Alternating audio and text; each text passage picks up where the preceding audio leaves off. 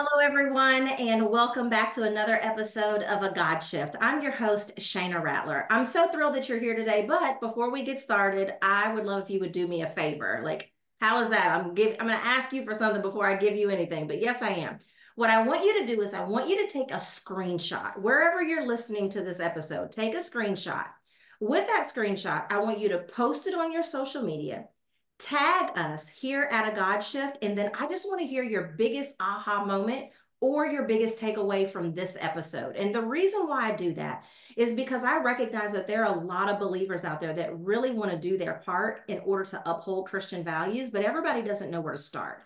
And so the more times these episodes are shared, the more people can be equipped with the with the strategies and the techniques and the tools that we share on each of these episodes. So I appreciate you in advance for being willing to share. I'm going to read my guest bio and then we are going to get started into what I know is going to be a great conversation. So, my guest today is a speaker and the author of four books, including The Christian Voter How to Vote For, Not Against Your Values to Transform Culture and Politics, The Deep State 15 surprising dangers you should know, 23 equity, or I'm sorry, 23 equity crowdfunding secrets to raise capital, and the new multi-channel integrated marketing, 29 trends to create a multi-channel integrated campaign to boost your profits now. He is the publisher of one of the largest evangelical newsletters, Reality Alert, and has appeared on Fox News, Fox Business, CBN, Dove, Newsmax, C SPAN, and others multiple times. He also owns the 104 time winning ad agency, CDMG, which utilizes the same advanced marketing techniques used by radical socialists. He is one of the top digital and direct response marketers in the United States and teaches how the Republicans, conservatives and Christians are 10 years behind in marketing. That could not be further than true. Anyway, I am glad to welcome to the show Craig Huey. Hey, Shana, it's been really good to be with you. I'm excited about uh, this this time together, and uh, yeah, I, I have a marketing background, and I kind of do the the intersection of faith and politics with a blend of marketing perspective. I love it. So I was in, at the time of this recording, it's the end of April. Yes. And Craig, I was in California at a conference at the beginning of the month, and mm-hmm. I heard something that was very startling that I hope you're going to tell me was false. Okay. So the conference organizer mentioned that in the state of California, and I don't know if they were evangelical Christian data or if it was just Christian data, right. but he shared with me that in the state of California that only 50% of the Christians were registered to vote and that only 50% of those that were registered to vote actually voted. And so when he gave me the number of number one, the number of Christians that are in California, and number two, the number of votes that Governor Newsom had when he won the election, if the Christians would have voted, they probably would not have a woke governor that is doing so many egregious things. So is that accurate number one and is is california an anomaly or is this kind of the state of christian and evangelical christian voting across the country? That's a great question. It's also a shocking question to to a lot of your viewers because here's the thing. You would think that christians people who, who are born again who have a christian worldview would want to vote their values. Yeah. Here's what we do know that christians will vote probably 86% of the time, 86% of the time, conservative. They vote their values and, and they've got certain non negotiables that involve uh, life. It involves protection of Israel. It involves uh, protecting Christian rights. You know, some key issues uh, that that are there, and yet, in any church you're going to have 20 to 40% of the people in that church who are not registered vote. Yeah. And you might say, oh, no, I know everybody in the church. They're registered to vote. Or even a pastor say, I know my church well. And yet, the, the reality is, if I take that membership of the attendees and I match it against a voter file, they're not registered vote. But here's the other shocking part. If you have uh, a Christian who is registered to vote, you can probably count of only maybe 60% of them going to this election in November. Wow. 40% are going to sit it out. Some will have the intention of mailing in their ballot or going to the poll, and they just have life getting in the way. Some uh, just will think, well, you know what? The world's a mess. Rapture's coming. I'm not going to vote. Others will say, oh, I don't think my vote counts, or there's too much voter fraud, or they'll come up with a reason not to vote. And some, they'll put it in the back of their car, their ballot, and uh, tend to go and they forget. Life gets in the way. So the problem is Christians are not voting. And if they did so, I got to tell you, we could change the local election the county election, the state election, and even the national election. Yeah. It's the Christians who are not voting. There are, we look at the chaos around us. We look at the erosion of our Christian rights. We look at the war on Christianity and we complain about it. But it's the body of Christ that's not saying enough is enough. We're going to make a positive change.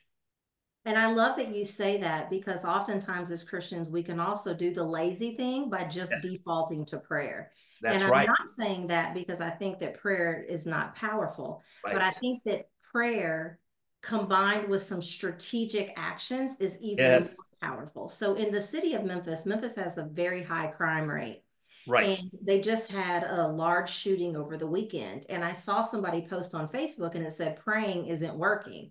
And mm-hmm. it's like, no, prayer in and of itself is not working. There's some actions that needed to be taken. Yes. And half the time, the people that were voting into office are putting policies in place that make it a lot easier for all of this egregious stuff to actually happen. And so I'm just really cur- curious because obviously you touched on this a little bit. For those of us that value fundamental Christian values and right. we don't want to continue to see them eroded and right. we don't want to, you know, this country was founded on biblical values. Yes. And so, with that being said, I believe that, you know, the election coming up this fall in 2024 is going to be very key. So, yes. do evangelical Christians, do they hold the key to the 2024 elections? They're like the secret weapon of turning America around. Uh, you know, definitely we need to have prayer. We need to have churches praying and individuals praying. We need to have repentance. We need to have revival. All these things are a given, but we also have to have action. Yeah. And, and the fact is, when you're talking about the number of Christians voting 86% conservative, we can change our nation if we got our friends and neighbors and family and Christians out to vote. Let me give you a couple quick examples in uh, in every state you have a different percentage. You talked about California. In California, the percentage of uh, uh, born again Christians is is really low. It's probably about nine percent. Okay. Uh, uh in in uh, South Carolina, it's thirty five percent. In in New Hampshire, there's 13% who say that are born again, but in Iowa, there's 28%. So that each state is different. Yeah. But even if you took a state like California or New Hampshire, you could turn it around. Yeah. If you just had 10% more of the Christians registering the vote and voted, you'd change the election. If you had about 15% to 20% of those who are registered to vote but aren't going to go to the poll, if you were able to get them to the poll, you would change the whole community. Yeah. Let me give you an example of Calvary Chapel. That let's go California, uh, probably one of the hardest states there is uh, in California. There's Calvary Chapel, Chino Hills, with Pastor Jack Hibbs. Well, Pastor Jack Hibbs realizes he's got to get up there and say, "Hey, any of you not register to vote before the church's congregation and people raise their hand and then they get a, a, a registration form yeah what he'll do in, in, in 15 states, ballot harvesting is legal. California is one of them. Uh, it shouldn't be legal, but it is legal. And so where it is, we've got to use it. And what he'll do, he'll get up and say, We're going to have ballot harvesting Sunday. We're going to have you coming in and we'll have a voter guide of how to vote for, not against your values. And, and you can give, fill out the ballot and hand it to one of the pastors and we'll take it to the poll for you. Yeah. The amount of people he has registered and the amount of people who actually vote because of all that he does is dramatic so that he changed the entire city council, the entire school board, the county government, and influences the assembly and the other other offices. All you need is four or five churches, just four or five uh, churches in, in in in a city. You'll change that city. You give me ten or fifteen in, in for a, for like an assembly or state house you'll change it. You give me 20 churches, I'll change a congressman or congresswoman.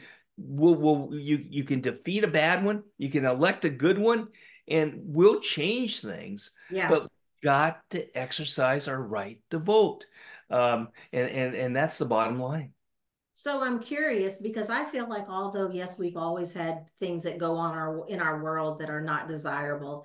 I yes. feel like over the last handful of years things have become more chaotic. So I guess the million dollar question is is will they actually vote this time? And see, I have evidence they don't. Um, and and and that that's very disturbing. So let me let me just give you uh, two important things. One is this that um, when I take a look at the 2020 election, let me you, you're you're talking about pastors after pastor after pastor not even saying on election day there's an election wow nonetheless them saying you know hey two or three weeks there's an election uh, make sure you get your ballot mailed in or make sure you get prepared to go to the poll. Or if you need a car ride or if you need a babysitter or you need some help we'll be able to do it. Yeah. Um, these type of things can be done at any church. People who have a home bible study they can make sure everybody in their home bible study is aware of what's going on. Uh, uh, there are voter guides that help tell you how to vote for judges for how to vote for uh, uh, city council, for how to vote for the state offices. So there, there's so much at stake. And, and here's the thing this election is a tipping point. It's a tipping point on the local level, it's a tipping point on the national level. We're, we're, we are, use the word chaos. We're in the middle of chaos. And, and we've got to stop it. And the best way to stop it is get people who understand right from wrong yeah. who understand uh, that one plus one is two. People who have a reality shaped worldview yeah. based on biblical values, and we'll turn everything around and uh, and we'll be salt and light. We'll be the we'll, we'll, we'll be the people that uh, are as loving our neighbors because we're actually doing something to make positive change. And isn't that isn't that what the church has always done? Yeah. It was the church in, in, in Roman times where they would throw babies aside that they didn't want. Uh, they gave birth, they didn't want the baby. Maybe it was a girl, they threw it on the road. Christians came along and did something and picked them up and adopted these babies. Christians were the ones that started hospitals and medical care. Uh, and Christians here in America, it was uh, Christians with the first great awakening, people down on their knees, arms lifted to heaven, and this great awakening, the first great awakening that sparked the American Revolution. The second Great Awakening was a time when people were moving away from God, ignored God. All over the hills of, of America, people were raising their hands, yeah. praising God, asking for forgiveness. And you know what happened? We had an end of slavery, the evil of slavery, because of the second great awakening. And it was the Christians who were the vocal people, the, the, the voices of truth, the voices of liberty, the voices of justice. And that's what we have to be today.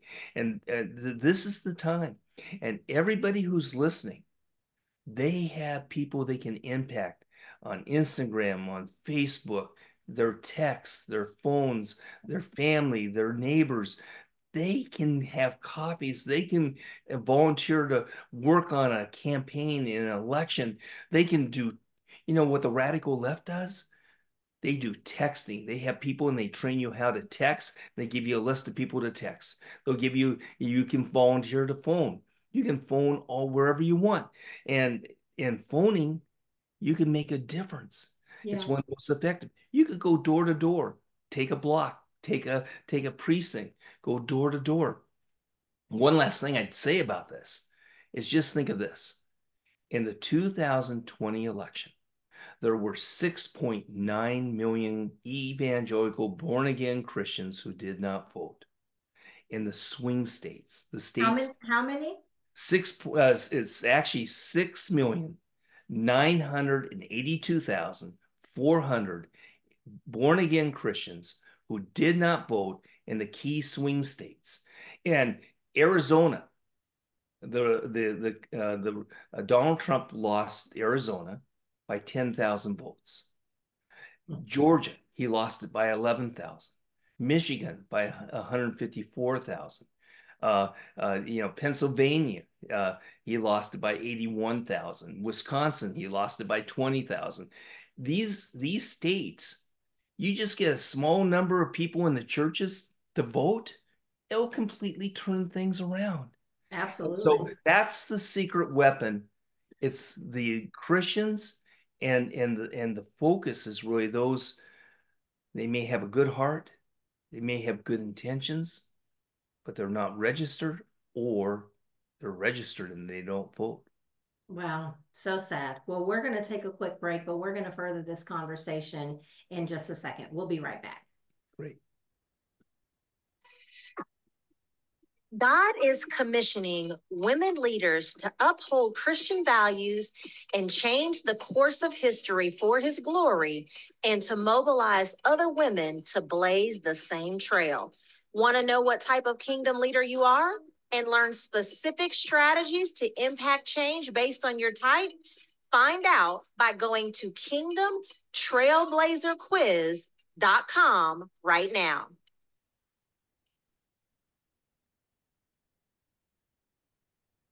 All right, welcome back. So we're talking about the 2024 election and we're talking about the sobering and startling number of Christians that are either not registered to vote or those that are that aren't voting and if we would, you know, how different things would be. And so is is getting is getting registered to vote and actually going to the polls is that how we unlock the 2024 election or does it go beyond that? it's how we unlock the 2024 election. But what it does, it leaves the groundwork mm-hmm. for changing our culture, for changing our society, for, for stopping the, some of the corruption and some of the insanity that's going on today. And so the, the, the fact is that um, if Christians would exercise their constitutional, God given right to vote, we see changes here in the local community and in America. And so that that that's really why we have to do it. Now, yes, everybody who's watching this, all the people's friends and neighbors who they know and could send this podcast out to, uh, all these people are going to be important. But so is the pastor. Yeah. So many of the people take the cue of the pastor and if the pastor isn't willing to stand up and speak out and do what is right, then that church probably won't do a thing. Yeah. And so the pastor has to take, uh, you know, stand firm, make a decision to do what is right, and speak out and mobilize their church. And then from the standpoint, uh, we we started off talking about how I've studied what the radical left does. Mm-hmm. I've studied what the Democrats and and the mobilizers are doing, and and they're they're so dedicated to promoting a socialist society that government is their god, religion that's politics. Right. they'll do whatever is necessary. And so that's where they train people. You know what they're doing right now? They are registering people and identifying who's interested in abortion who who who who wants to make sure we we we kill we kill babies really is what it amounts to they're seeing who likes having their student loans forgiven and right. going to vote for us who who who is uh, for different issues they identify the issues create a database of those people so that they can concentrate marketing messages only on them wow. and then be able to get them out to the poll. Well, the Republicans aren't doing that, but Christians, we can identify other believers and get them out to the poll. So forget the Republican Party. Forget, forget the the, the the the the you know the candidates. We're an army that that that could create the change if we would simply do what we can do. Right. Um, uh, and, and, and the techniques and strategies, they're not difficult. Right. Holding a coffee, inviting people over. Uh, how about this? Get a voter guide, invite people over to your house and say, we're going to go down the ballot and tell you how to vote for those judges. And we're going to tell you how to vote for these different candidates and, and bring your ballot and we'll just have a good time and have a little coffee or have a, a potluck, have them come over, fill it out. And those uh, states that's legal to do ballot harvesting, them take it, uh, you get it and take it to the poll. Those yeah. states that's not, they can fill it out, they can mail it in. Uh, if they want to go to the poll, uh, early voting, they should go early voting to the poll. We can do this. We've got to do this. You know, there's two things that I would add to that. Number one, I think we need to remember that we're electing a president and not a pastor. That's, That's right. And number two, I think we need to mature to the point that we don't vote based on emotional decisions. Yes. And, you know, my recommendation to people, and I've said it on this show before, is decide the two or three most important things in your life. And then for once in your life, don't look at what party they align with. Look right. at what it is that they've done in the past and what it is that they say they're going to do. And then pick the party that is most aligned in the areas that are most important to you. For me, in no particular order, I care about my religious freedoms, my yes. money, and yes. national security. Those are yes. the things that are the most important to me. Yeah. And yeah. so now, it just happens to be that most of the time that's going to align with the Republican Party. But I'm not just, you know, for those of you who can't see the screen and you're just listening to the audio, I'm Black. And unfortunately, in Black culture, we've been told for years that we're Democrat. We yes. haven't been told why yes. we should be Democrat. Many of us can't voice to you what it is that we think Democrats have really done for, you know, the Black race. But many of us will just go to the polls and we'll just any any Democrat that's on there, and we have no idea until after something happens that we just put somebody in office that is putting policies in place that is against the things that we actually care about. So what matters to you? Find the candidate that aligns with that and forget about the party for a change because we're beyond a point in this country where we can avoid to vote just because we like or dislike someone's personality or because we like or they align with the party that we've always voted for. We just cannot afford.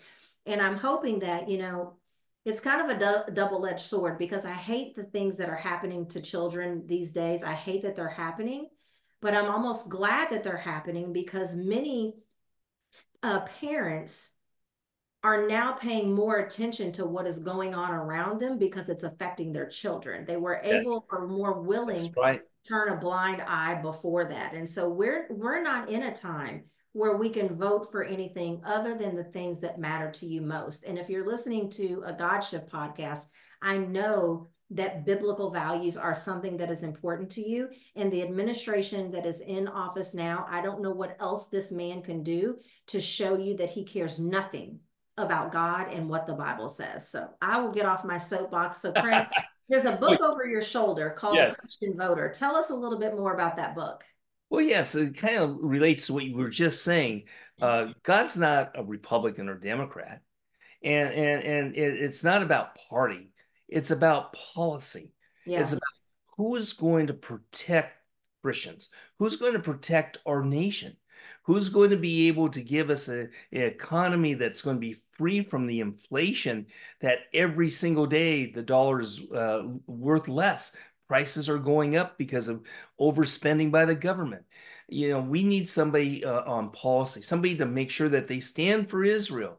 Um, and, and, and so uh, i wrote this book that talked about what i call the non-negotiables Yeah. things as christians we can't negotiate on we got to stand firm on and if if if if a candidate can't agree with those they don't deserve our vote Right. and then I also wanted to get a book that gave an action plan. What can the individual do? What can a home Bible study do? What can a church do to activate people to get out and vote? And so I go into that. And I go into the issue of strategically limiting evil. Sometimes there's not a perfect choice. Sometimes there's people that you don't like that are on the ballot, but on policy, they might be better than the other one. And that's where you are strategically limiting evil. Uh, in the in the in the case, uh, if I can, Joe Biden, on the issue of abortion and killing of babies, what he's doing is so damaging to our society and what he's uh, advocating. Uh, Donald Trump wants to protect life. Now, between the two, you could criticize their personality, how they send out tweets. You could do whatever you, you know, whatever.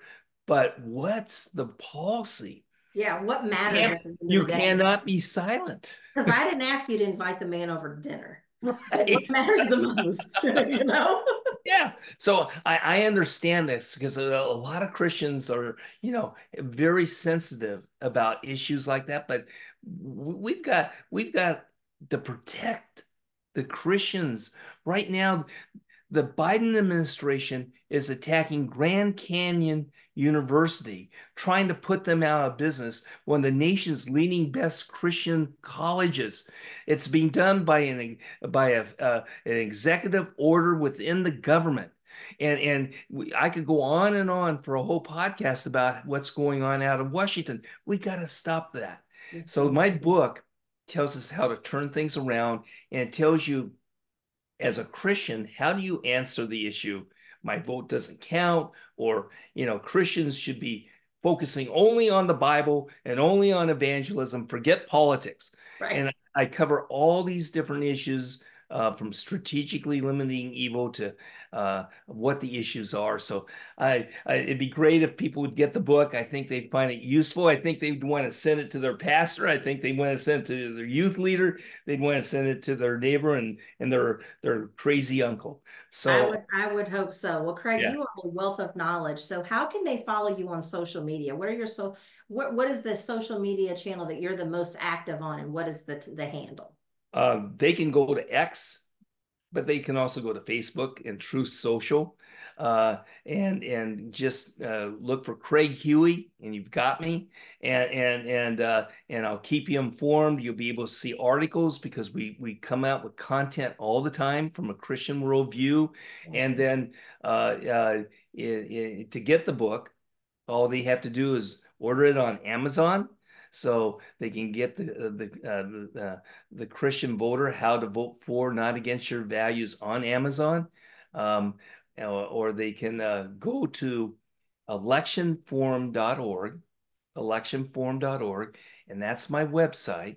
And electionforum.org, they'll see my newsletter and the books, and uh, and uh, the if they order it directly from the website, I'd be glad to uh, make sure they get the newsletter and sign an autographed copy of the book. Awesome. Well, I'm going to make sure that the links to all of that in the show notes is there. So all that they have to do is click it. Awesome. Everyone, I, I don't know how to say it anymore, that this is one of the top episodes that you need to share. So please share it. Um, Craig, thank you so much for Great. being here and sharing these nuggets. I know this episode is going to be a hit. And you all, I hope that you will consider going back and listening to previous and future episodes as well. Everyone have a great day. Bye-bye.